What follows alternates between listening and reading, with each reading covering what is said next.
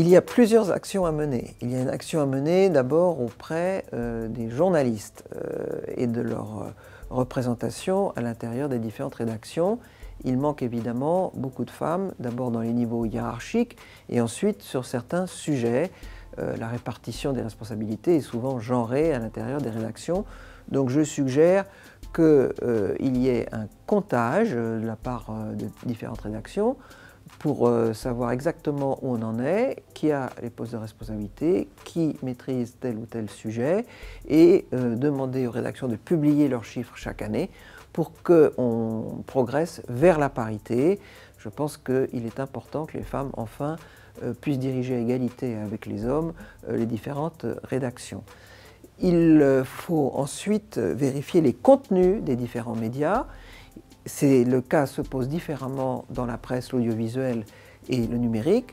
Pour la presse, nous pouvons euh, jouer sur euh, les aides euh, de l'État à la presse et demander une contrepartie en fonction de l'égale conditionnalité aux différents journaux, en leur demandant en contrepartie des aides importantes accordées par l'État, donc nos impôts chaque année à la presse, qu'il y ait un minimum d'auto-examen euh, des stéréotypes et du sexisme des contenus, sans toucher à la liberté éditoriale, mais quand même de savoir combien il y a de photos de femmes, combien il y a d'expertes interrogées, combien il y a de femmes qui signent les articles. Au moins savoir le nombre.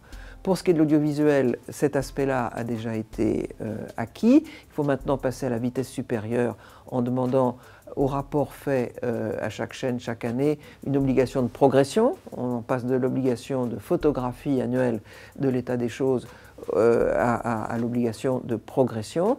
Et dans le numérique, tout reste à faire. Il faut absolument réguler le numérique qui va finir par tout envahir. Et donc là, à la fois euh, dans les gens, les personnes employées par le numérique et les contenus surtout véhiculés, il faut une régulation. Il y a bien eu une régulation de la presse et de l'audiovisuel. Il n'y a pas de raison qu'il n'y ait pas de régulation des contenus du point de vue du sexisme du numérique.